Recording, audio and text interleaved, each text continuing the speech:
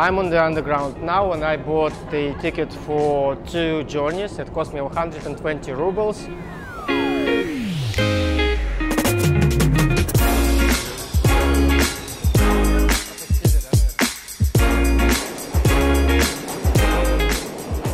The Moscow Underground, if you look at the watches over there, they indicates how many minutes ago the train passed by. Usually the trains are going quite frequently on Moscow Metro, maybe every two, every three minutes maximum.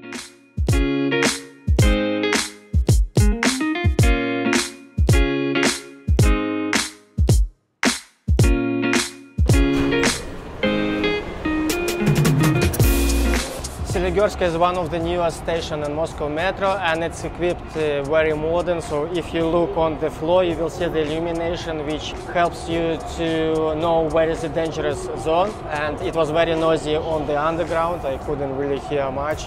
When you are on the tube, when you want to go out, you don't have to have your ticket because the gates are gonna open themselves. Here you go. In London Underground, you have to have a ticket to get out of the tube actually.